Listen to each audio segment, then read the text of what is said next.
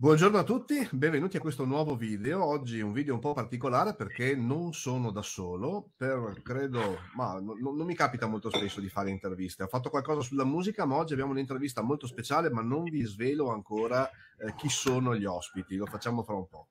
Uh, perché facciamo questo video, facciamo questo filmato? Perché qualche tempo fa ho realizzato un video che parla di, diciamo, egittologia, che parla principalmente di questo libro, Giza, La caduta del dogma, scritto da Antonio De Fluberi, Gianluca Montuschi e Andrea Tavecchia, e questo video mi ha onestamente portato un sacco di visualizzazioni perché per il mio canale più di 100.000 visualizzazioni sono veramente tante, ma soprattutto si è scatenata una discussione incredibile. Un sacco di commenti anche molto interessanti e credo che sia il caso di riprendere quei commenti e magari farci su una piccola discussione perché molti di quei commenti erano anche abbastanza interessanti.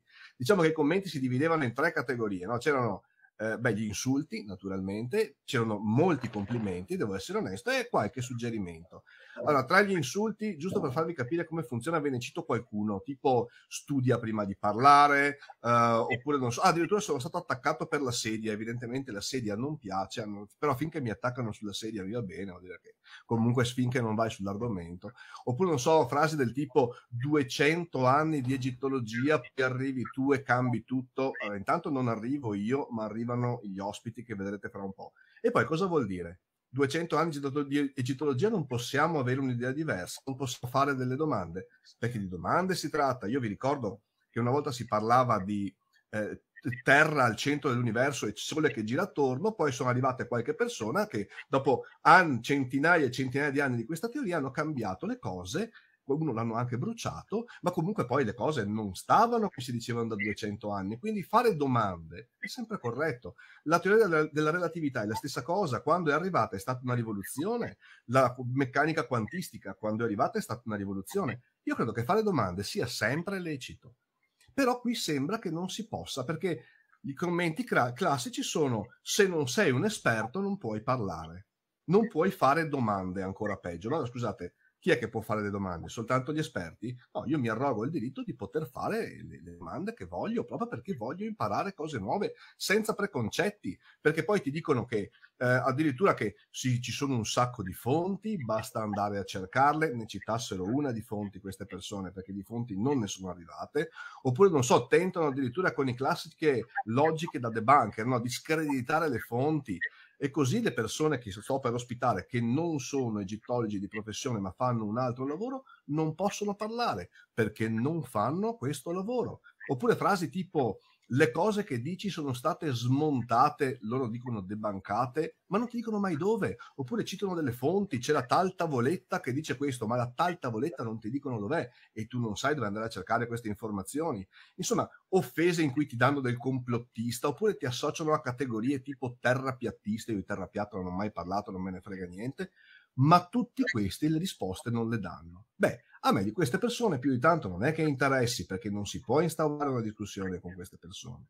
Poi però ci sono i suggerimenti e quelli sono molto interessanti perché sono citate teorie alternative, ma non solo, persone che correttamente e anche molto educatamente hanno fatto anche molte domande.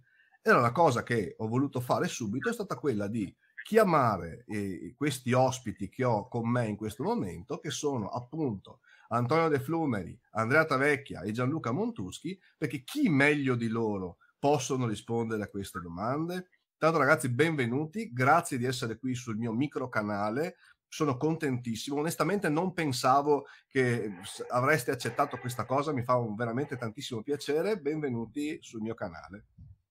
Ciao, grazie Ciao, a te. Grazie a te. Ciao Alberto, è un piacere per noi.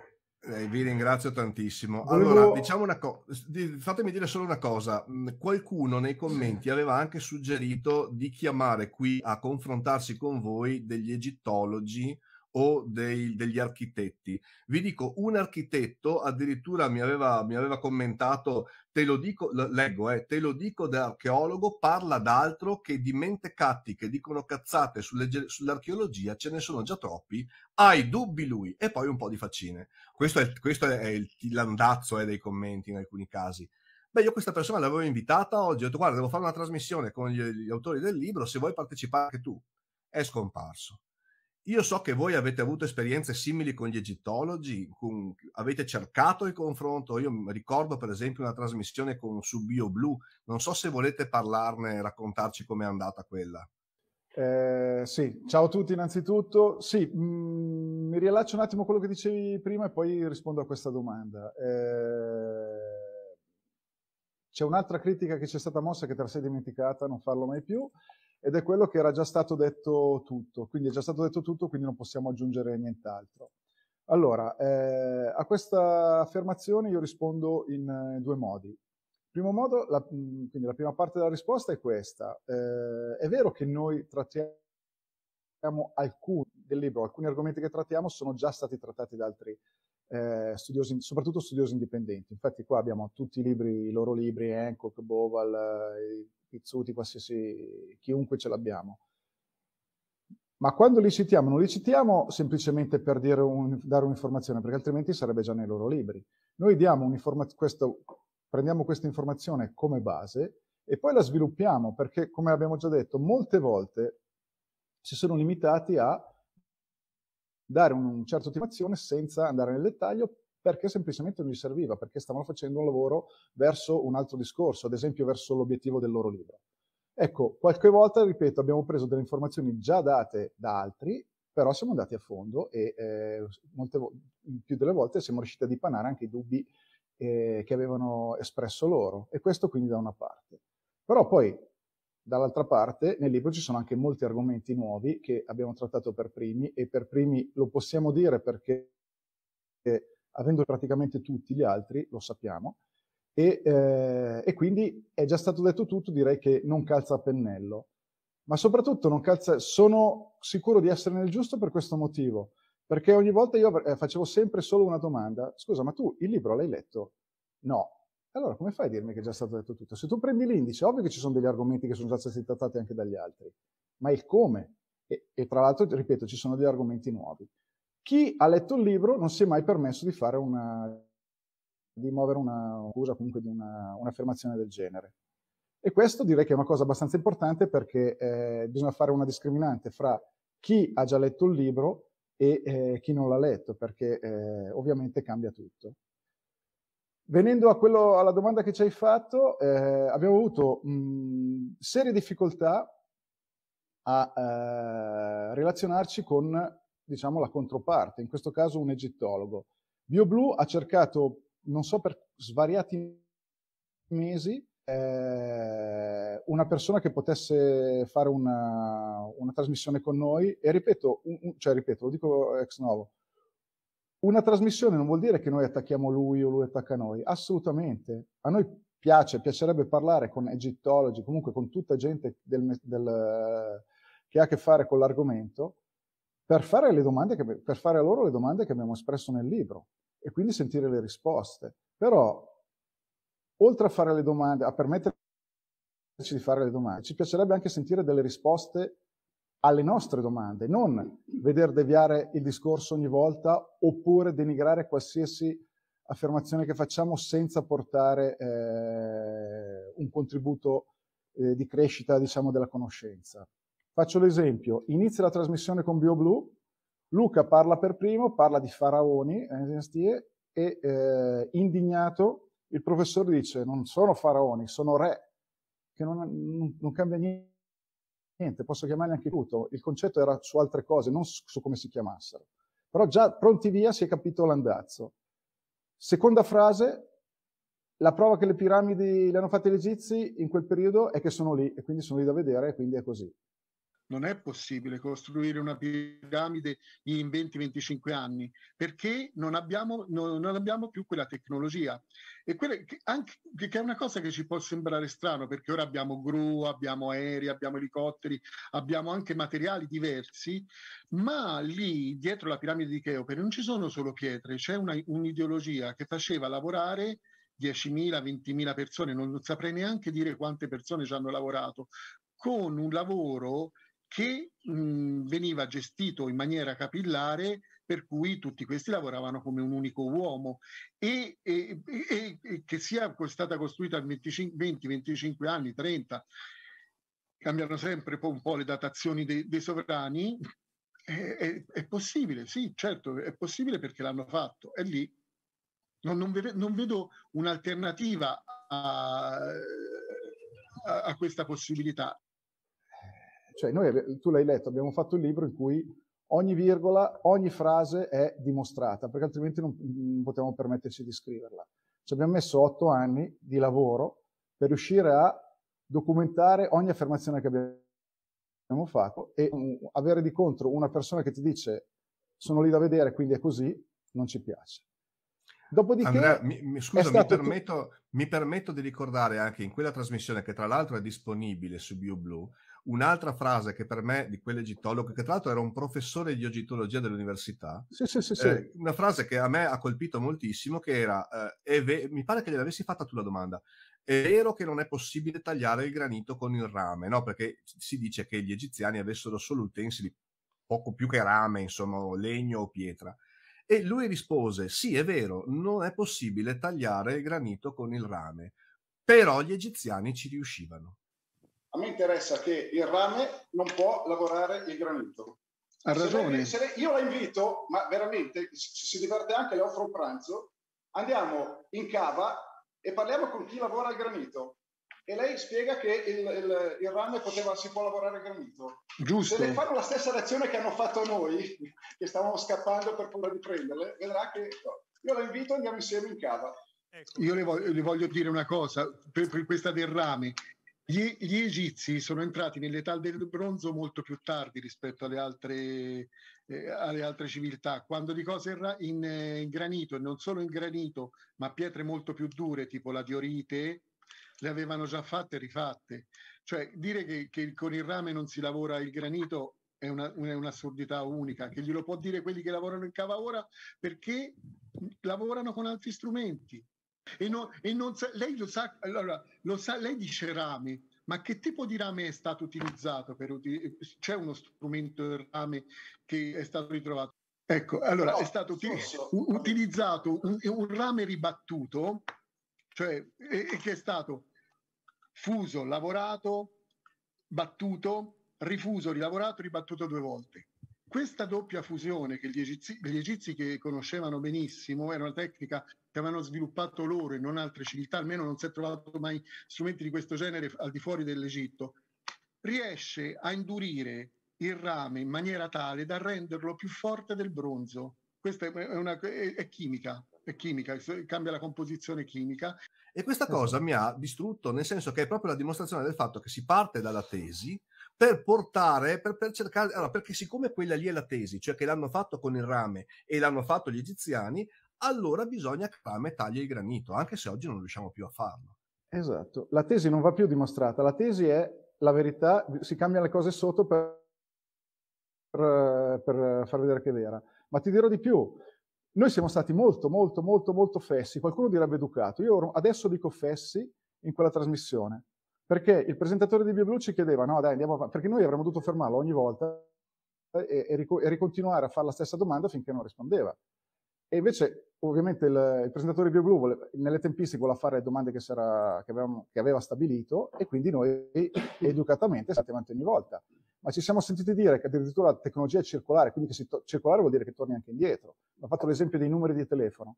Ma cosa me ne frega di, di ricordarmi 40 numeri di telefono? C'ho, il telefonino che eh, ce n'ha mille lui, non mi serve più, mi serve a fare altra cosa con la mia mente. Quella cosa lì la fa un altro. Io ho lavorato affinché qualcun altro facesse quella cosa e basta. Eh, dopodiché, alla fine, eh, per dire, eh, qualsiasi cosa citavamo non andava bene. Al Mamoon l'ha buttato nelle mille una notte, quindi non vuol dire niente. Abbiamo citato i Gardiner, non va bene neanche quelli. Tra l'altro sono quelli che loro utilizzano nei corsi. Ovviamente nei corsi utilizzano le, la parte detta da Edwards o da Gardiner che va bene. Qualcosa, quello che non va bene ovviamente non funziona. Quindi un altro gioco al massacro è quello di denigrare qualsiasi tua fonte. Però il problema è che non mi hai portato niente di tuo.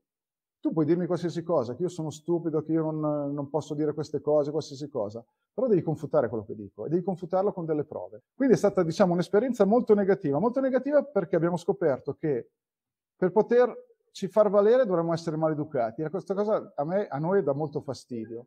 Dovremmo veramente eh, fermare la, la, trasmissione dopo due minuti e finché non, non dà una risposta non andare avanti. Quindi se mai la riferemo, io la, la, lavoro a fare così, altrimenti dopo due minuti la chiudo. Ma mi spiace anche parlare così perché sembra di, di essere arrogante, maleducato, chissà che cosa. No, è questo. E ripeto, poi chiudo, l'Antonio vuole aggiungere qualcosa su, su questa cosa, chiudo dicendo questo, che eh, sono due anni che c'è questo libro, il primo anno in, da soli, da un anno con uno editori, quindi il primo anno autoprodotto poi con uno editori, e noi in due anni siamo stati attaccati come te in qualsiasi modo, ma non c'è stata una critica, un attacco su quello che c'è scritto. Un attacco su un... Alla, alla pagina 59 avete scritto una cosa non esatta, non c'è stato. Quindi su chi siamo ovviamente non c'entriamo niente con l'egittologia, va bene, però, ripeto ancora, non devi attaccare la mia persona, ma devi attaccare quello che dico. Se io dico stupidate hai tutta la ragione. Tra l'altro, anche le altre persone, allora, quelli che attaccano non possono parlare, perché eh, se vale per me vale anche per loro. Cioè, non ho capito dove è la disparità. E eh, un'altra cosa, io devo portare le, le, dimostrazioni, perfetto, ci ho messo otto anni per portarti le dimostrazioni in tutto il libro. Adesso io pretenderei, sono ancora sul condizionale ma ancora per poco, pretendo che quando uno ci attacca o roba del genere lo faccia con delle prove.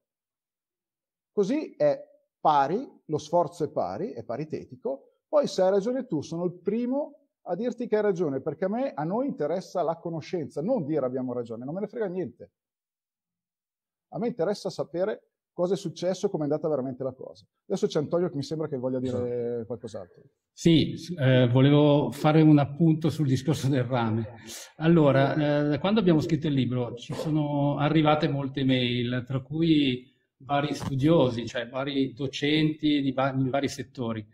Ehm, per cui dopo la trasmissione, siccome mi era rimasto, c'era rimasto in mente questo discorso del rame ribattuto, come l'aveva denominato il professor Tiradritti, eh, ho scritto a una persona di questo, tipo, di, questo professore, eh, chiedendole se aveva, aveva, mai sentito appunto, eh, con, aveva mai sentito questa, questo rame ribattuto. Tra l'altro, io eh, al momento dell'intervista al professore non abbiamo avuto il tempo di dire se poteva darci eventualmente una fonte, ecco, uno studio al riguardo, cioè motivare, aveva, aveva detto quella cosa e quindi volevamo le prove in modo da poterle leggere ed eventualmente cambiare idea. Eh, quindi ho scritto questa, questa, mail e mi è stato risposto che assolutamente, poi adesso non abbiamo il tempo di farla leggere, però con, in maniera molto categorica anche il rame ribattuto può avere una durezza che pari una volta e mezza il rame normale, ma che comunque non può tagliare il granito. Quindi questa mi verrebbe da chiedere a questo punto al professore se eventualmente mi può far sapere la sua fonte. Ecco, per cui eh, molte volte ci è capitato di sentire abbiamo assolutamente cognizione di questo problema, sappiamo che facevano così, però poi dopo quando andiamo a cercare le prove eh, succede che non ci sono oppure che non ci vengono mostrate. Invece con questo, questo, professore che molto gentilmente ha risposto alla nostra mail ci ha dato proprio una, una risposta abbastanza definitiva. Professore, del, professore sì. sì, non ho voglia di dire chi è perché non, no, non ho comunicato. del Politecnico, sì, cioè, sì. diciamolo e non, eh, così per la privacy e tutto mi piace dire soltanto ho le mail come prova quindi che in qualunque momento qualunque cosa io dica al riguardo ha, ha effettivamente eh, un dato una fonte ecco almeno questo. Perché vedete quello che mi fa, mi fa un po' impressione è che eh, la metodologia che state utilizzando è abbastanza, voglio dire, scientifica, cioè si va a cercare una prova e se quella prova convince va bene, se quella prova non convince si chiedono altre spiegazioni. Eppure una delle maggiori critiche che ho trovato nei commenti è, visto che non siete egittologi, voi non potete parlare di questa cosa. Poi però, non ve l'ho detto prima, una delle cose più divertenti è che ti citano come fonti, per esempio, Massimo Polidoro che io sono andato a vedere. Massimo Poidoro va benissimo, uno studioso, mi va benissimo, può dire fare quello che vuole, però è laureato in psicologia all'Università di Padova con una tesi sull'attendibilità dei testimoni oculari di fenomeni insoliti. Quindi lui è uno psicologo e secondo me può parlare di egittologia, ci mancherebbe altro, ma allora lo potete fare anche voi, lo possiamo fare anche noi, perché è la dimostrazione che non devi essere un egittologo per farlo. Volevo mettere un attimo i punti su lei, perché sennò qua alla fine andiamo a finire che soltanto quelli che si occupano di quella branca possono parlare di certe cose e noi che ci vogliamo informare, vogliamo fare le domande, non possiamo farlo, perché ricordiamoci, noi stiamo facendo domande in questo momento, non stiamo dando tesi. Però vorrei tornare un attimo alle, alle vostre, alle vo- insomma, tutte le domande che sono arrivate, ho cercato di raggrupparle un attimo. Per esempio, ci sono delle molte persone che dicono di andare a informarsi da altre parti, no? sia sul fonte egittologia, tra virgolette, accademica, sia fonti di tipo diverso. Per esempio, molti, moltissimi, vi giuro, sarà il 70% di queste tipologie di commenti, chiedono di andare a vedere il professor Malanga. Avete letto qualche cosa? Perché io sono andato poi a documentarmi su Malanga e a me non vi dico perché, ma non mi convince. Però voi l'avete vista questa cosa di Malanga, questa nuova teoria, questa nuova teoria che sta facendo anche delle conferenze in giro? Allora, io eh, volevo fare mh, prima di tutto una puntualizzazione sul discorso che hai fatto prima, no? Nel senso che è vero, noi non, non ci occupiamo di egittologia, ma infatti, e mi collego poi anche alla seconda domanda, non abbiamo nessuna pretesa di dire come siano andate effettivamente le cose. Che questo qua, secondo me, è un punto fondamentale della questione, cioè noi non ci arroghiamo il diritto di sapere come abbiano costruito, chi le abbia costruito, quando abbiano costruito le piramidi. Ok? Perché va al di là probabilmente delle nostre competenze. Ok? Abbiamo, al di là che, visto che hai citato Polidoro che è laureato in psicologia, hai detto, io sì. sono laureato in, in, economia, Andrea è laureato in scienze dell'informazione e Antonio ha una laurea in design, in design. quindi va bene, siamo, siamo paritetici, ok, come, come formazione, ma al di là di questo, noi rispondiamo a delle affermazioni che vengono fatte, o meglio, facciamo delle domande, andiamo a vedere se quello che ci viene detto ufficialmente corrisponde effettivamente al vero, ma non secondo la nostra idea o secondo dei nostri pensieri, ma se corrisponde effettivamente ai documenti storici in nostro possesso, nostro nel senso non di Gianluca Andrea Antonio, ma dell'umanità. Ok? Do, da dove nascono queste convinzioni e queste teorie? Siamo andati semplicemente ad analizzare quelli che vengono eh, asserite come dogmi, come lo chiamiamo noi, no? a tutti gli effetti da dove derivano. Siamo andati a studiare le fonti originali, da dove arrivano, o comunque da dove arriverebbero questo tipo di informazioni e siamo andati a vedere se tutto fila. Ok? Quindi non stiamo dicendo come ha, hanno potuto costruire le piramidi, stiamo dicendo che come ci viene detto, per le nostre informazioni, per le informazioni a disposizione, diciamo, dell'uomo d'oggi, ok? Non possono essere state costruite in quella maniera. Punto. Non stiamo dicendo non avete capito niente, tutti abbiamo capito tutto noi, le hanno costruite così. Questa è, è, una premessa fondamentale da fare. E qui arrivo al secondo punto. Chiaramente anche noi abbiamo letto Malanga, eh, che, che, ha degli spunti, secondo, secondo me, assolutamente interessanti e geniali, ma non è questo l'oggetto del contendere. Io po- possiamo essere anche d'accordo in toto, in parte o per niente, no, non è l'oggetto del contendere. Cioè noi in questo libro non affrontiamo le teorie, chiamiamole tra virgolette, alternative. Noi andiamo ad analizzare quello che ci viene detto tutti i giorni leggendo un libro di storia leggendo un libro sugli egizi eh, o guardando un documentario, punto. Non andiamo al, al di là di questo. No? Quindi noi abbiamo preso quello che ci viene detto, ci vengono dette tante cose che sono tombe, come sono state costruite, le rampe, e bli bli blo blo, e i marchi di cava, e le, le, le, chi l'ha costruita, come l'ha costruita, eccetera, eccetera, e andiamo ad analizzare quello che ci viene detto, quello che è eh, effettivamente il dogma sulle piramidi dell'antico regno, punto. Non è nostro interesse, nel nostro lavoro, nella nostra ricerca, andare ad analizzare come possono essere state costruite o le piramidi, in questo caso, ripeto, non solo quelle di Giza, ma quelle dell'antico regno, eh, come o cosa potessero servire. Esula da, dalla nostra ricerca. No? Poi anche noi possiamo avere le nostre idee, ma non è questo l'oggetto del contendere. Sì, è chiarissimo, è chiarissima la posizione e, e la, io la condivido in toto, cioè è soltanto un non mi tornano le cose, faccio delle domande per capire meglio. È chiaro che sì. è così, assolutamente. Alberto, scusa, ti interrompo, soprattutto vai, vai. Per, per, le funzioni della piramide.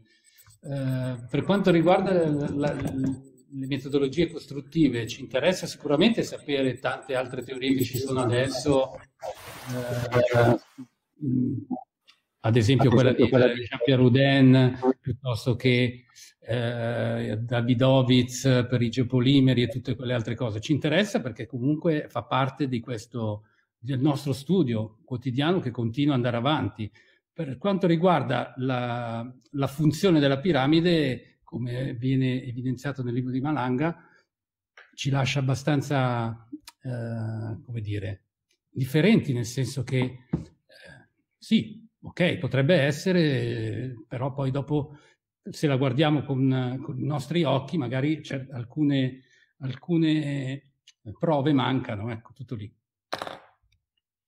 Ecco sì, perché una cosa interessante che vorrei sottolineare anch'io è che ho ricevuto molti commenti su teorie alternative, però da un certo punto di vista è esattamente lo stesso delle teorie ufficiali. Cioè, se proponi una teoria alternativa, ci deve essere un minimo di prova cioè devi portare anche tu qualche prova perché le cose sono fatte così. Cioè se Malanga mi dice, per citare lui perché stiamo parlando di lui, che la piramide è un generatore di energia, non lo so, invento, mi devi dire come hai fatto a produrre l'energia con la piramide, altrimenti è una teoria che per me vale esattamente come tutte le altre. Una teoria portata da prove, affascinante, interessante, per carità, ma rimane sempre una teoria. Vi volevo fare un'altra domanda, perché anche su questo molti hanno uh, polemizzato, tra virgolette, dicendo quando voi dite nel vostro libro che le piramidi non sono tombe, mi dispiace di farvi questa domanda, ne abbiamo parlato anche perché, devo dire la verità, noi ci siamo conosciuti anche su Alternativi, abbiamo già fatto qualche, qualche chiacchierata e questa domanda ve l'ho dovuta fare anche in quelle interviste, ma devo ripetervela anche qui. Cioè, quelle piramidi che non sono tombe perché non sono stati trovati cadaveri all'interno delle tombe molte persone dicono no, non è vero, io ho sentito i documentari, i cadaveri sono stati trovati, le salme ci sono, le abbiamo trovate. Per carità, a molti ho chiesto dove, non mi hanno saputo rispondere. Qualcuno ha risposto la piramide di Micerino e un'altra che non mi ricordo, ma lo sapete sicuramente voi qual è quell'altra, dove sono state trovati dei resti umani. Vi chiederei, la vogliamo chiarire una volta per tutte questa cosa, perché altrimenti non ne usciamo più. Ok, allora, eh, le uniche, diciamo, eh, gli unici corpi, non so neanche chiamarli corpi, perché nella piramide di Micerino è stata trovata una sepoltura che è stata studiata col metodo del radiocarbonio e quindi apparteneva a un, completamente un'altra epoca, tipo il 600 a.C., quindi nulla a che fare con la terza, quarta dinastia. Eh, l'altro reperto che, di cui magari si parla è all'interno della piramide di Zoser è stato trovato un piede, un piede mummificato all'interno di una delle tante sale che sono all'interno della piramide. l'altro reperto è, se si riferisce a Belzoni nel 1800, 1818, che ha trovato all'interno del, del sarcofago della piramide di Kefren delle ossa di toro, mi sembra, eh, insieme a polvere detriti per cui non, non c'entra nulla con il discorso dei faraoni come sepoltura. Quindi tutto quello che noi abbiamo, che abbiamo di fronte è questo, dalla terza alla quarta dinastia non è stato trovato nient'altro. Il, uh, viene da chiedersi poi fare un minimo di, di ragionamenti su, questo, su, questi ritrovamenti, nel senso che se le piramidi venivano usate anche da, in periodi successivi, viene da chiedersi che è quasi più probabile trovare dei reperti postumi piuttosto che dei reperti originali, ad esempio. Però comunque sono, questa è la situazione. Poi chiunque voglia smentire mi, mi prova a dare una... Mi, mi, dà delle indicazioni, delle fonti da, su cui poter discutere. Ecco.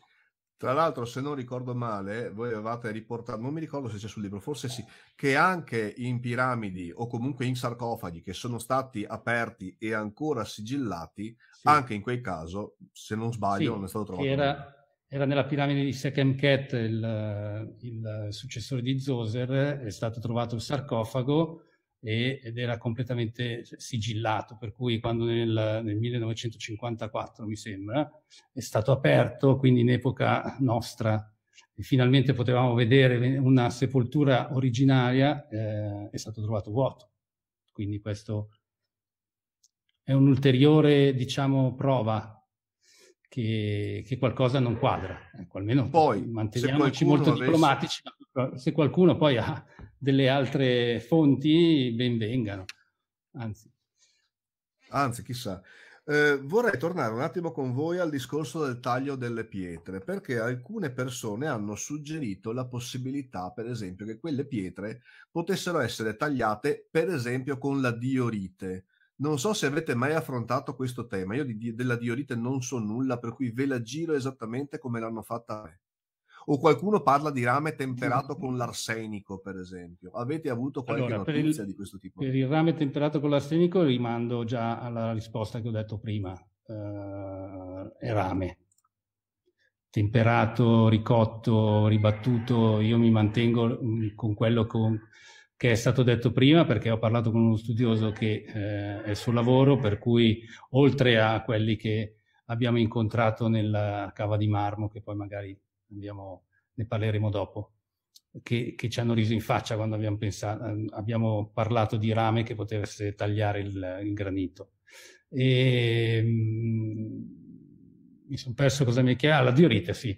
Esattamente. Per quanto riguarda la diorite, eh, abbiamo, mh, sì, eh, è un elemento che veniva, poteva essere usato durante la, diciamo, il, la lavorazione del granito è una, una come dire, è un, un, elemento, una pietra molto dura per cui potrebbe essere usata per, per lavorare il granito perché veniva usata con quello che hanno trovato. Allora, manteniamoci sempre in quello che è eh, detto dall'egittologia, quindi che parlano di questi reperti, sono state trovate delle sfere di diorite, come ad esempio quella che è stata trovata nelle vestigia da, da Dixon, le vestigia di Dixon, è stato trovato in questa palla, questa pietra, e si dice che con queste pietre potessero in qualche modo tagliare, lavorare il granito. La cosa che mi fa un attimo specie è che noi abbiamo una bellissima statua di, del faraone Kefren che è completamente fatta con uh, indiorite ed è stata, uh, magari poi dopo faremo vedere un'immagine. Mi chiedo come fare a lavorare una, una, una, statua del genere, così precisa, con questi lineamenti così uh, armoniosi, con una, con una, sfera di diorite, ecco, sfregando o lavorando contro, una, la diorite contro il granito. Ecco. Mi, aggiungo, mi... aggiungo, anche aggiungo, un ulteriore elemento che... Un, è, è di prioritaria importanza. Il fattore tempo. Supponiamo che con la diarite possiamo lavorare il granito. Sì, lo possiamo lavorare in, alcun, in alcuni contesti, mettiamo così. Ho dei dubbi che si possa lavorare per fare tutto quello che è stato fatto. Ma supponiamo Supponiamo che si possa fare tutto quello che è stato fatto con la diorite. Ma abbiamo, abbiamo presente cosa vuol dire lavorare il granito con la diorite? Quanto tempo ci vuole? Ripeto, ammesso che possa essere successo così. Perché dobbiamo sempre ricordare che eh, nei 20-25 anni del regno di Cheope è stata costruita piramide. Ora, eh, provate a prendere la diorite e a mettere, o a lavorare il granito e poi ne riparliamo. Ma anche una, un, le lastre più piccole, lasciamo stare quelle più grandi, poi quelle più grandi servono per altre indicazioni, per altri ragionamenti. Ma il fattore tempo non va assolutamente dimenticato, è insieme al, fa al fattore fattibilità, quindi strumenti in rame, in pietra, in legno, l'elemento principale, sono i due fattori principali dai quali partire per stabilire se una teoria è valida o no.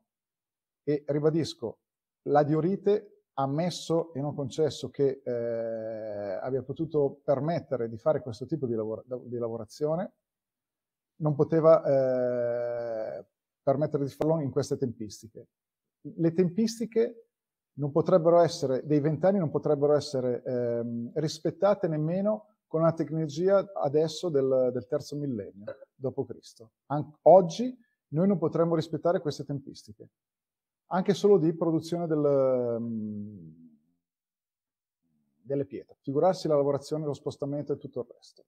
Quindi, oltre a quello che ha detto Antonio, c'è anche questo, questo aspetto molto importante da prendere in considerazione, sempre.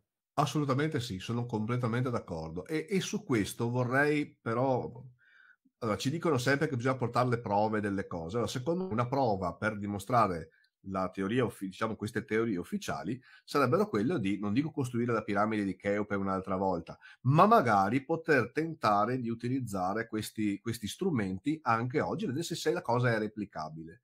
Io so che voi avete approfondito abbastanza, anche fuori dal libro, il discorso del progetto Nova, che in effetti era proprio un esperimento fatto per cercare di replicare queste tecniche costruttive. Ce ne volete parlare un attimo? Perché è abbastanza interessante. Cioè, lì hanno provato ad utilizzare quei sistemi per vedere se quei sistemi funzionavano. Giust- giustamente, come, eh, come, dicevi tu, hanno provato, perché sai, eh, in particolare Lener, che è un famoso ormai egittologo, eh, ha provato a costruire una, una mini piramide 9x9, ma non solo, hanno provato anche a spostare eh, dei massi, mi sembra del, de, de, de, del peso di circa 20 tonnellate, con risultati assolutamente disastrosi. Cioè, lo spostamento secondo trascinamento sulla sabbia bagnata, su slitte, come ci viene detto che eh, ci viene assicurato dall'egittologia che, che, che, che, come abbiano fatto in passato gli antichi egizi, per spostare questo masso di pochi metri in una giornata intera di lavoro con centinaia di operai, ha portato dei risultati disastrosi, nel senso che hanno dovuto abbandonare il lavoro più volte, eh, le slitte si rompevano, le corde fatte di canapa si rompevano, insomma hanno spostato veramente di pochi metri quanti metri? 6 metri in una giornata di lavoro in piano. Un blocco da 20 tonnellate. Ok, rendiamoci conto che nella piramide ci sono blocchi fino a 70 tonnellate che non solo devono andare in piano, diciamo, da, come ci viene detto, dalle rive del Nilo fino a portarle su ai piedi della piramide di Cheope, ma addirittura portarli con delle rampe che salgono avvolgenti la piramide, che salgono fino a 43 metri di altezza e lì essere posizionati in maniera perfetta, millimetrica, nella struttura. Qui hanno fatto un esperimento dove hanno spostato un masso in piano di 6 metri in un giorno. Ok? E scusami, se non ricordo male, nel sito del progetto Nova, ad un certo punto, però potrei sbagliarmi, hanno anche ammesso che a un certo punto hanno dovuto usare mezzi moderni tipo camion e, per lo spostamento Questo hanno dovuto usare dei mezzi moderni fatto. quando hanno provato a costruire questa mini piramide 9x9 che hanno dovuto, hanno dovuto costruire e poi però hanno dovuto utilizzare i mezzi moderni, sollevatori, trapani, eccetera, eccetera, ci viene detto per motivi di tempo, e hanno fatto questo giochino che attenzione è una roba per noi allucinante che siccome abbiamo utilizzato dei metodi moderni e che all'epoca gli egizi non avevano eh, allora basta aumentare il numero degli operai necessari e torna tutto. Cioè vi leggo un, un tratto, un, un pezzettino che se 12 uomini a piedi nudi potevano cavare 186 pietre in 21 giorni, facciamo la matematica semplice e vediamo proprio in un calcolo semplicistico molto crudo quanti uomini sarebbero necessari per consegnare 340 pietre al giorno, quelle che dovrebbero essere consegnate alla piramide di Khufu per costruirla in 20 anni e viene fuori tra 400-500 uomini. Ora, ero infastidito dagli strumenti di ferro che io ho utilizzato, ci dice l'Ener, specialmente l'argano di ferro che tirava la pietra nelle pareti della cava, quindi ho detto mettiamo una squadra aggiuntiva di 20 uomini in modo che 12 uomini diventino 32. Questo è il ragionamento, cioè siccome io ho utilizzato dei mezzi moderni e ho ipotizzato che gli uomini a piedi nudi, no, fa tutta la fava e la rava, gli uomini a piedi nudi di, del 2500 a.C., 12 uomini bastavano per avere 186 pietre, però siccome io ho usato, non sono riuscito, e siccome ho usato dei mezzi meccanici, anziché 12 uomini ne metto 32. Come se aumentare la forza lavoro mi cambiasse la problematica. Qui non è un problema di numero di uomini e di forza lavoro. Qui è un problema che ho usato delle tecnologie moderne perché a mani nude non riuscivo a farlo. Se il rame... Perché a mani nude ho spostato di 6 metri in una giornata esatto, il pietrone. Esatto. Esatto.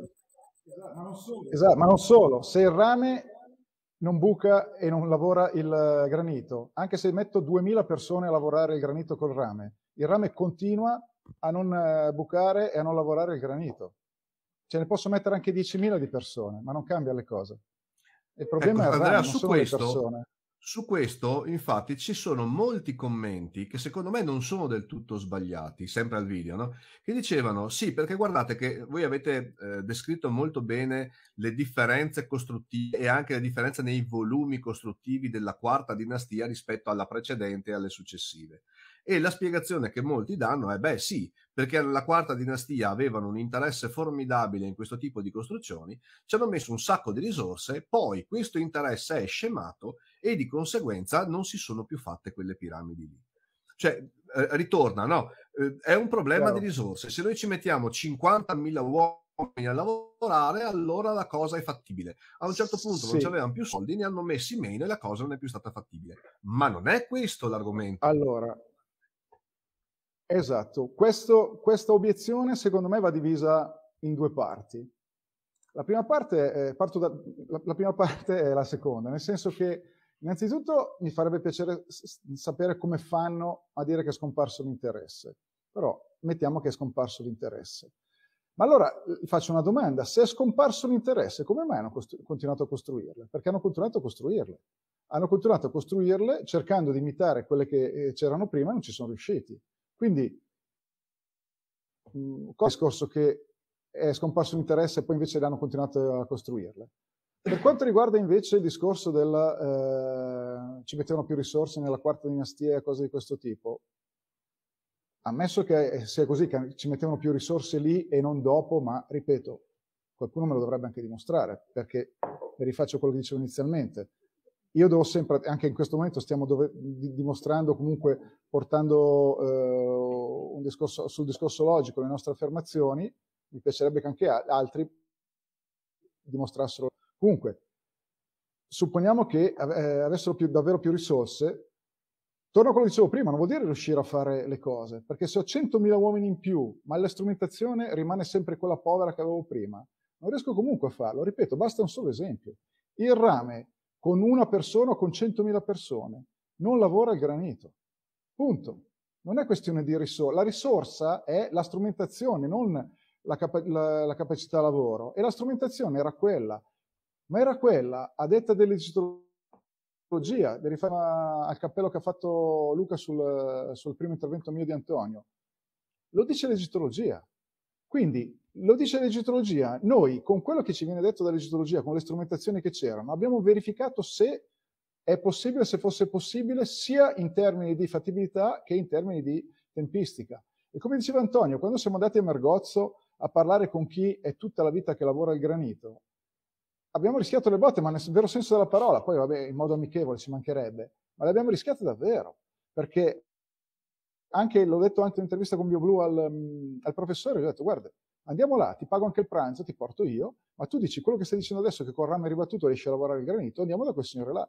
Quello che aveva le dita larghe così, cioè tre volte le mie, ogni dita, e ce le aveva ancora tutte tra l'altro, e eh, che ti guardava e ti, e ti, diceva tre parole, non andava neanche avanti, perché ti diceva no, non è possibile, lui aveva già finito. E poi ti spiegava tutto il resto. Quindi eh, portatemi queste prove, come diceva Antonio, voi portatemi queste prove, io cambio idea, ma devo vederle, perché io adesso le prove sono andato, sono andato da chi è sul campo, o dal, al Politecnico per il discorso di prima eh, relativo al rame, in una cava relativo alla lavorazione di, di, queste pietre. Io sono andato da chi ci lavora, non da chi mi dice qualcosa che tra l'altro non me lo prova nemmeno. Perché sulla carta, eh, lo so già, perché l'egittologia mi ha detto che sono state fatte così e mi ha detto anche, come hai detto giustamente prima, sì è vero che non si può, però sono state fatte. L'assurdo dell'assurdo.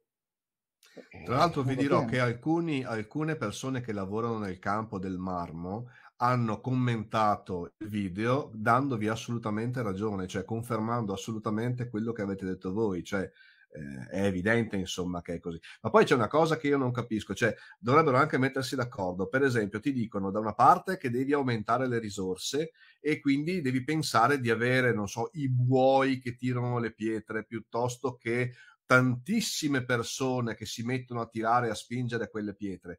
D'altro canto poi ti dicono attenzione però che su quelle rampe fatte nel modo in cui erano fatte non ci poteva stare più di tanta gente.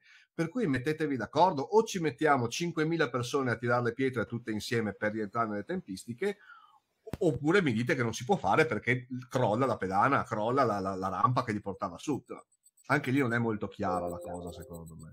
Guarda, a, a, proposito delle rampe di cui stai parlando tu, no? c'è uno studio bello fatto dal, dal, Poli, eh, dal, dal Politecnico che secondo, secondo, noi conferma, pur non volendo, eh, conferma quello che diciamo. Cioè, questo studio parla di queste rampe costruite come viene, vengono dette dall'egittologia e ci dicono che cosa succede? Succede che erano assolutamente, era possibile assolutamente costruire le piramidi eh, così come ci viene detto dall'egittologia con le rampe avvolgenti lungo, no? lungo la, la, la massicciata ehm, perché hanno dimostrato questi ingegneri che queste rampe reggevano, cioè contrariamente a quello che si può pensare,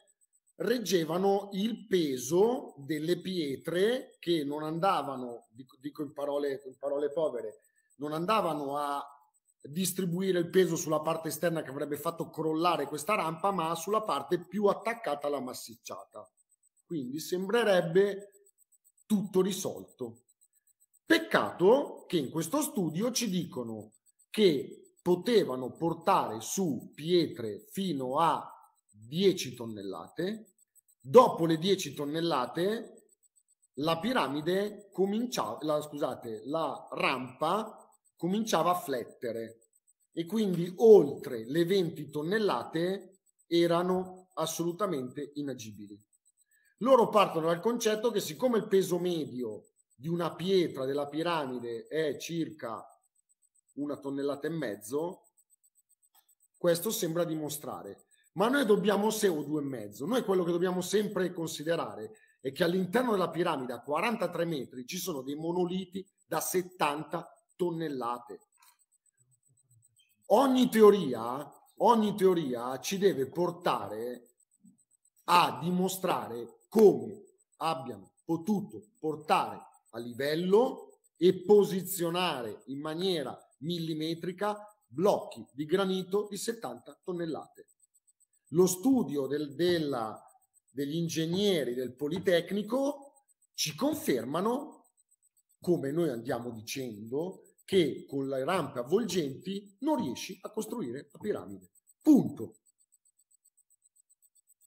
Questo, sì, è. Beh, questo, questo, è estremamente chiaro, estremamente chiaro. Eh, e su questo però devo farvi una domanda, perché qui um, ammetto la mia ignoranza, è una cosa che non ho capito. Cioè, quando voi date il numero delle pietre che compongono la piramide, date un numero 2 milioni, se non mi ricordo quanto. 2 milioni 600 mila. No, 2 milioni ma... 300 mila e 115 mila il rivestimento esterno. Il rivestimento, perfetto. Ma mi si dice che nelle piramidi invece la maggior parte delle pietre non erano pietre, ma la parte interna era, diciamo, dei mattoni cotti che venivano utilizzati. No. no. Perché questa è una cosa che è stata commentata molte volte. Invece voi state dicendo no, sono tutte pietre di quel tipo là dal peso da una tonnellata in su. Insomma, allora, quello che noi abbiamo con gli studi, non nostri, ripeto nostri, li ha fatti Petri, quindi uno dei padri dell'egittologia, ha studiato corso per corso corso per corso, l'altezza di ogni corso, il volume di ogni corso e le misure di ogni singola pietra di ogni corso. E sono blocchi di calcare che vanno dai metro, metro e venti, metro e quaranta, eccetera, eccetera. Ok? 80 centimetri, 90 centimetri. Ma sono blocchi non di mattoni. I mattoni sono stati, venivano, sono stati scusate, eh, utilizzati peraltro non sulla piana di Giza.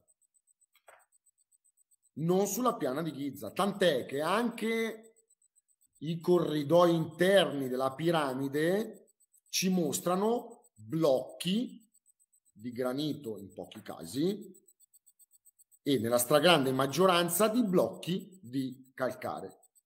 Poi ci sono dei blocchi, ve lo dico così, giusto per parlare per informazione, ci sono dei blocchi misteriosi in quello che viene chiamato eh, il condotto ascendente, diciamo il condotto che porta prima della grande galleria, dove uno studio di Maragioglio negli anni 60-70 eh, ci, ci, ci fa vedere che ci sono dei blocchi monolitici di calcare scavati, quindi la galleria è scavata dentro a dei blocchi monolitici di calcare. Quindi la galleria non è formata da quattro blocchi, diciamo uno laterale, uno superiore, uno, un altro laterale, uno inferiore, ma è un unico blocco, una O, all'interno della, dei quali viene scavata la galleria per dire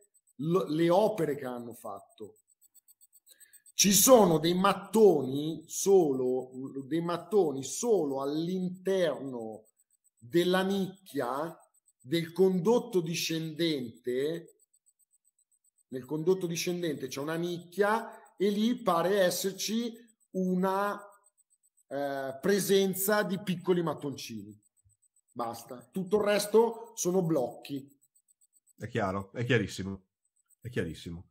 Uh, una cosa volevo ancora uh, far notare, che ci sono delle persone che invece commentano dicendo, beh, insomma, non, non, non dovrebbe stupirci, in fondo anche i romani facevano costruzioni incredibili. Ecco, forse è meglio che so- sottolineiamo un attimo la differenza tra le costruzioni tipo il Colosseo e una qualunque delle piramidi della piana di Giza. Cioè, allora, le tecnologie non sono le stesse. Allora, io poi dopo, magari Andrea poi scende un pochino più nel dettaglio. Io però vorrei fare questa considerazione, cioè perché poi quando si parla di, di, di periodi antichi sembra che siano uno vicino all'altro. Esatto. Il periodo che, che, intercorre tra la presunta costruzione delle grandi piramidi, quindi quarta dinastia 2500 a.C. e l'impero romano nasce nel 600 a.C., quindi diciamo 2000, 2000 e passa anni dopo arriva a Roma, il tempo che intercorre tra la piramide, la grande piramide, la piana di Giza e il Colosseo è il tempo che intercorre tra il Colosseo e noi. Non so se, mi rend- se, se, se riesco a farmi capire, cioè non stiamo parlando dei greci e dei romani che sono lì a distanza di 200-300 anni o anche coevi. Stiamo parlando di epoche storiche distanti più di 2000 anni. È lo stesso periodo storico che, inter- che intercorre tra noi e Gesù Cristo. in 2000 anni il mondo cambia, le tecnologie cambiano, i materiali che vengono scoperti cambiano, l'ingegneria cambia, cambia tutto. Quindi non è che siccome i romani sono indietro, allora li assimiliamo, li assimiliamo alla quarta dinastia egizia. Un paio di ciuffoli, passano duemila anni, esattamente come tra Roma e noi passano duemila anni. Tra Roma, che, andava, che hanno fatto il Colosseo, bravi, e noi, noi andiamo su Marte. Cioè, questa ma, ma, è, è il periodo storico di differenza, capisci? Perdonami, se noi oggi volessimo costruire il Colosseo lo potremmo fare, certo. ma non siamo in grado sì, di costruire adesso... la piramide di Giza, Bravissimo. fondamentalmente. Bravissimo. Ma ti, esatto, ma ti, ma esatto, ma ti spiego anche perché noi saremmo in grado. Perché basta, perché basta vedere, vedere eh, fare dei confronti. Ad esempio, l'altezza è un terzo, si parla di 57 metri per quanto riguarda il Colosseo. Il lato più lungo è 188 metri contro i 230 Parliamo del peso. 0,25 tonnellate del Colosseo eh, contro 7 0,25 scusa, milioni di tonnellate del Colosseo contro 7 milioni di tonnellate della Grande Piramide. Tra l'altro i romani non erano fessi, l'abbiamo visto quello che hanno fatto. Loro si eh, guardavano bene dal portare in alto i massi grossi, come invece è stato fatto nella Grande Piramide. Non che chi ha costruito la Grande Piramide fosse fesso, perché molto probabilmente servivano lì. Però per le opere che hanno fatto i, i romani non era necessario, quindi hanno tenuto uh, in basso quelle, le, le pietre con uh, volume maggiore. Anche il volume è incredibile. Parliamo di 2,3 milioni di metri cubi contro 0,1 milioni di metri cubi. Eh, eh Fondamentalmente stiamo confrontando, stiamo confrontando un'opera con la sua custodia cioè la piramide è la custodia. No, molto più, una custodia molto abbondante. Una custodia molto abbondante, ma ci sono dei ragionamenti belli da fare. Tra l'altro, vabbè, il tempo... ci hanno messo i 5 e gli 8 anni. L'Osseo ci hanno messo i 5 e gli 8 anni contro i 20 anni della Grande Piramide. Eh, avrebbero loro, quindi con la tecnologia dei romani, avrebbero impiegato 200 anni. Perché dico questo? Perché vediamo i rapporti. Allora, l'altezza, prendiamo il, i pesi. I pesi, il rapporto è 1 a 28 il volume 1,23. E se prendiamo tutte queste cose qua, diciamo che il rapporto di, di tutte le grandezze diciamo, è intorno a 1,25, qualcosa del genere. E, e, quindi si vede che non, non esiste, cioè non esiste proprio una, un, un, parallelismo fra, fra, queste fra, queste due costruzioni. E in più mettiamoci quello che ha detto Luca, perché Luca giustamente ha detto che eh, erano sì antichi rispetto a noi, ma comunque erano molto più avanti rispetto a, a, alla terza e alla quarta dinastia. Ma è sempre un, un tutt'uno. Comunque loro avevano le strumentazioni per poter fare cose, infatti le hanno fatte. E tra l'altro queste sono documentate, perché anche un'altra cosa che non dobbiamo eh, dimenticarci è che il lavoro fatto dai romani è documentato ne siamo certi al 100% perché ci sono scritti dappertutto, tra l'altro ci sono anche i progetti, ci sono le, anche del, um, dei resoconti per quanto riguarda le lavorazioni, costi e, e qualsiasi cosa. Delle piramidi non c'è niente, non c'è un progetto, non c'è niente. E nessuno tra l'altro l'ha vista perché era un'epoca talmente lontana che non abbiamo eh, dati, nozioni del tempo merito. Di quello che è stato fatto dai romani abbiamo tutto e sappiamo tutto, quindi è una cosa certa. E i romani, per fare il Colosseo, ripeto, abbiamo visto questi rapporti, con quelle tempistiche, con quelle strumentazioni che avevano, se nelle stesse tempistiche e strumentazioni avessero dovuto costruire la grande piramide, ci avrebbero messo 200, adesso non mi ricordo più il tempo, comunque una, una, da 1 a 10, almeno 1 a 10 come, come, come grandezza di, di confronto. Però devo dirvi che se c'è una cosa su cui vi trovo d'accordo con alcuni commenti del video, sono il fatto che stiamo, è molto facile trovare qualcuno che parla della piana di Giza, ed è corretto, ma in effetti il mondo è pieno di opere misteriose di cui non sappiamo assolutamente nulla. Quindi non è una problematica che abbiamo soltanto lì a, a, in Egitto, ma ci sono opere incredibili e ingiustificabili dappertutto. Viene in mente Gobekli Tepe, ma non solo, cioè ce ne sono veramente tante, che forse sarebbe il caso di indagare con mente aperta anche in questo caso. stata un'intenzione proprio concentrarci soltanto sull'Egitto, che dire de, di tutte le altre piramidi che ci sono in giro per il mondo e di tutte le grandi costruzioni, le costruzioni megalitiche e quelle che comunque eh, dimostrano che c'era qualche conoscenza che adesso ci sfugge. Assolutamente siamo d'accordo, nel senso basta, basta, basta guardare in giro per il mondo e ci sono. Ecco, su questo non, non c'è niente da dire, assolutamente. È stata soltanto una nostra scelta quella di concentrarci sull'Egitto. Certo. Allora, ragazzi, stiamo andando verso, verso, la fine, insomma, un'oretta che stiamo chiacchierando, io direi di avviarci verso la fine. No. Allora, scusa, no. ti interrompo. Ma vai, lo fai qui... come fossi a casa tua. Ce l'ho qui dal primo minuto. A quel signore che ha detto, tu hai detto che molti si sono rifatti a Polidoro. Sì. Allora, oggi stavo mettendo a posto il, il computer e mi è saltato fuori un file che avevamo salvato. Solo dire che Polidoro è quella persona che ha asserito che l'erosione verticale della, della Sfinge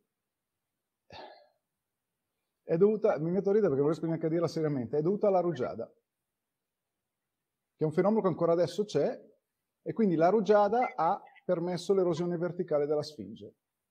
Ognuno può trarre le proprie conclusioni, ovviamente. Io le ho tratte, noi le abbiamo tratte e non sono molto positive in merito a questa osservazione. Vabbè, Andrea, Quindi, secondo la me... La situazione qual è? La Sfinge, la Sfinge ha erosione orizzontale no. da vento, da sabbia e erosione verticale da acqua. L'abbiamo già spiegata nelle interviste che abbiamo fatto nelle cose, perfetto. E lì non puoi negare, quindi uno non puoi negarla, eh, questa volta non puoi negarla perché è proprio lì, quindi c'è. Qualcuno l'ha detto, quindi l'ha studiata, quindi per forza devi prendere in mano l'argomento perché abbiamo visto che molte volte basta dimenticarsi dell'argomento, non prendere in considerazione, non rispondere, che eh, è tutto a posto. Questa volta sei costretto a farlo e cosa ti inventi? Ti inventi che è colpa della rugiada. Andiamo a vederci quale tipo di erosione c'è nel.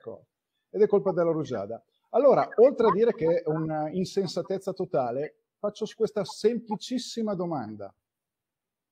Come mai la rugiada, nella, non in Egitto nello stesso periodo, ma nella piana di Giza, come mai la rugiada ha intaccato verticalmente solamente la Sfinge e tutto quello che c'è intorno no? Qualcuno mi può rispondere, per favore? Ecco, Polidoro è questa persona. Quindi quando qualcuno si rifà a Polidoro, lo analizzi bene e soprattutto chieda le dimostrazioni di quello che dice. Come le chiede a noi? Le chiede anche lui. Tutto qua. Andrea, sono perfettamente d'accordo, anche perché appunto come a voi vengono, viene chiesto di giustificare la singola virgola del libro, eh, allora per me Polidoro può dire ovviamente tutto quello che vuole, ma magari, visto che ce lo dicono sempre anche a noi, no a voi, portasse un geologo che dica che quella teoria lì è accettabile, mentre fino adesso mi pare di aver capito che i geologi propendono per un'altra teoria, che è la retrodatazione delle piramidi, o meglio di quelle strutture lì, perché soltanto retrodatandola ci potrebbe essere una spiegazione a quella quantità di acqua che serve per fare proprio quel tipo di erosione lì. Quell'argomento è solo sulla Sfinge, sì. Però poi con la Sfinge correlata agli altri per un altro tipo di retrodatazione. La retrodatazione geologica, chiamiamola così, è prettamente sulla Sfinge. Sì. Ragazzi, vi dicevo, se, se, se va bene, io, io, chiuderei qui dopo un'oretta di chiacchierata, però devo, devo fare due cose per forza perché dovevo chiedervi, il, ricordatevi il bonifico per favore, perché visto che mi hanno accusato di farvi le marchette e di farvi vendere i libri, ricordatevi poi, insomma, no, vorrei, vorrei chiarirla questa cosa perché mi ha fatto molto ridere, cioè eh, addirittura il libro, questo libro, io me lo sono pure comprato scrivendogli a casa, ma figuratevi se questi tre ragazzi qua hanno bisogno del mio canale da 3000 iscritti per poter fare le marchette, ma fatemi il favore, no, no, no l'unica cosa, no, l'unica cosa che ho... La cosa è diversa. La cosa è diversa. Noi, come ti ho detto prima, stiamo ancora aspettando la, la boccia per averti so fatto superare le 100.000 visualizzazioni. Assolutamente, ma ve l'ho detto, la prima, volta, la prima volta che passate di qua soppressa e bottiglia di vino per voi. Bravo, bravo hai detto, se ci mette anche Rozzola, io adesso parto.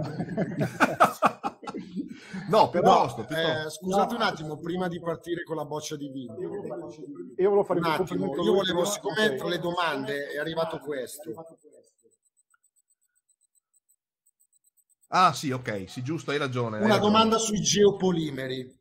Ok, noi abbiamo ragione, letto queste robe qua e altre pubblicazioni che parlano di teorie, studi importanti. Questo qua è bellissimo, questo libro, secondo me. Questo qua è un libro eccezionale.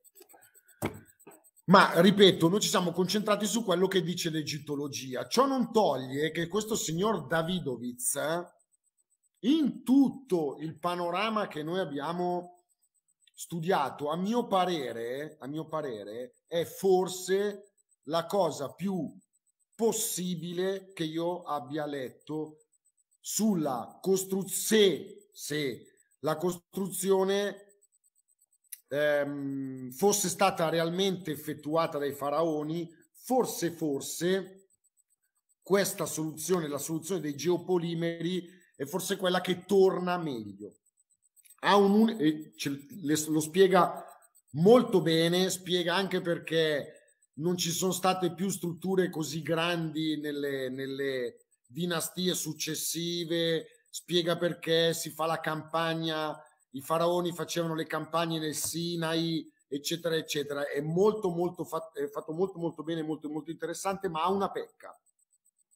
Anche il signor Davidovitz non spiega come abbiano fatto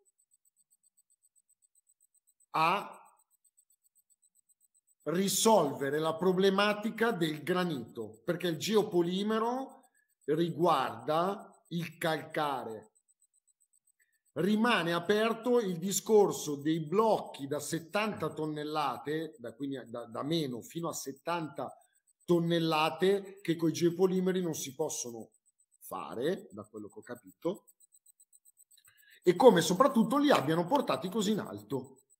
Quindi ci, secondo me, da, dalla mia, la mia visione ci va molto molto vicino, è molto molto plausibile come cosa, me è piaciuto tantissimo, è, è veramente un argomento molto interessante, ma ha questa pecca qua. Quindi è una risposta un po' a quelli che dicono, avete sentito parlare di geopolimeri, certo, noi di, di cose ne abbiamo studiate, però ribadisco, ci siamo concentrati su quello che ci dice l'egittologia ufficiale. Questo signore, quando è andato ai convegni, è stato preso a calci, giusto per intenderci, ok? Eh, ok, quindi forse ha ragione, di solito funziona. Bravo, esatto, esatto. Esatto, esatto. Allora, ragazzi, io direi veramente la chiudiamo qui. Io vi ringrazio tantissimo per una cosa. Il libro, la barchetta la faccio, eh, la faccio. È questo. Dopo ne faccio una anch'io. Anche perché, anche perché scusatemi, eh, io in realtà sono d'accordo con questi ragazzi che un pagamento lo avrò, cioè la prima volta che ci vediamo ho, ho, voglia di avere le loro firme su questo libro, perché è l'unica cosa che mi interessa dopo averli incontrati due o tre volte. Eh, allora, no, io volevo dirvi intanto ringraziarvi, dirvi che il libro si compra eh, sul sito di un editore, giusto?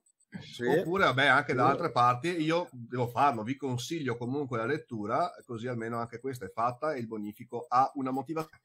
E poi dirvi che invece, secondo me, uno dei commenti che è arrivato spiegava veramente tutta la logica della costruzione delle piramidi, è stato bravissimo, con due sole parole, e queste parole sono Tutankhamon che secondo questo me è, è bellissima. È questo bellissima. è un genio. Ci vado in vacanza io con questo. Quindi, ragazzi, no, devi fare allora, io invece volevo dire alle 200. Sì, sì, alle 200.000 sì, sì, alle 200 persone, perché adesso arriveremo almeno, sfonderemo le 200.000 con questo video. Alle 200.000 persone che guarderanno questo video, le invito, fra gli altri, a guardare i tre video, video sì, sì, che ha fatto Alberto su Ustica. Oh, ti ringrazio. Paolini, Paolini e Paolini assolutamente non si tocca e mi spiace, ma assolutamente. leggermente sotto in seconda posizione abbiamo il signor Bonato. Fidatevi. Bravo, no, io, io, io vi ringrazio, io vi ringrazio. Diciamo che la dif- il, vero, ho, il, vantaggio che ho avuto io rispetto a Paolini è che lui l'ha fatto vent'anni fa il video, per cui gli ultimi vent'anni di storia lui poverino non li poteva conoscere e io invece ho avuto la fortuna di poter vedere anche quello che stava Ma fatti i cazzi tuoi, ti ho fatto un complimento e tutta la roba, stai zitto. Non sono capace, non sono capace, mi diverto, mi diverto. No, mi sono divertito. E anche lì ragazzi ci sarebbe da fare una, tras- una, una, trasmissione perché anche lì sono arrivate di quelle critiche pazzesche che secondo no, me non sono neanche tanto giustificate. Ma, ma voi, scusi, cioè, anche voi ricevete tutte queste robe perché mm. spero di sì. Sì, di solito io e Luca le, le passiamo ad Antonio. Ho risposto sempre a tutti. Eh, io ci sto provando, ma ci sono più di mille commenti, non, non, non ce la faccio a rispondere a tutti. A qualcuno, a qualcuno, ho risposto, naturalmente. Almeno a quelli che non insultano la mia mamma, perché quelli che insultano la mamma li ho bannati proprio due o tre. cioè, si arriva più... Finché mi danno del pagliaccio, mi sta bene, me lo metto. Ok ragazzi, io, io, vi ringrazio veramente tanto di aver partecipato a questa cosa nel mio micro canale, mi avete fatto, sono molto, si, si, vede, sono molto emozionato di questa cosa e niente, a presto, se passate da queste parti fatemelo sapere che bisogna autografare il libro. Non la soppressa. E la soppressa, quello sì, ragazzi. La vado a prendere a Valli del Pasubio che c'è una soppressa meravigliosa. Io sono di Rovereto, quindi... Grazie, ragazzi, grazie mille. Grazie mille. Ciao Alberto, grazie. Ciao, ciao grazie. ciao. ciao. ciao.